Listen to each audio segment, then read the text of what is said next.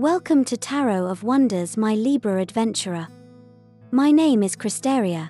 I will be your tarot seer for this week. Today, we will be drawing from the Sanctus Concordia tarot deck created by Christopher Lee. Here is your first draw Justice.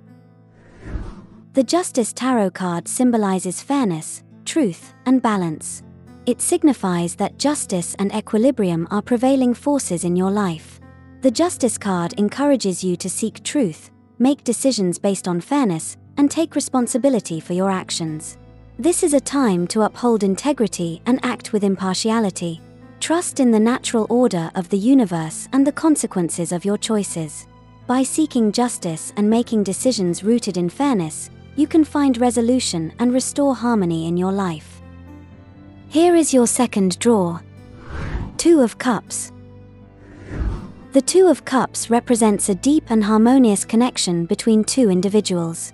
This card signifies the potential for a meaningful partnership or a significant bond. It symbolizes the coming together of two souls, creating a union based on love, mutual respect, and emotional balance. This card invites you to open yourself up to the possibility of a loving relationship or to nurture the existing connections in your life. It is an important reminder to embrace vulnerability and allow yourself to be truly seen and understood by another. Here is your final draw Six of Swords. The Six of Swords represents transition, moving forward, and finding solace in a new chapter of life. It signifies a period of healing and growth after a challenging or turbulent time. You are making a conscious decision to leave behind the past and embark on a journey towards a more peaceful and stable future.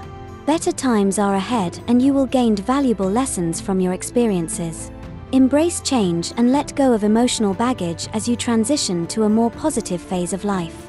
Trust in the process of healing and to have faith that you are moving towards a brighter and more serene destination. Together, this combination encourages you to trust in the power of balance and harmony to guide you through times of transition. Embrace the connections that bring you joy and support, and have faith in the journey ahead. Stay true to yourself, my Libra adventurer, and know that you are capable of navigating any challenges with grace and resilience. Your path is filled with peace and harmony.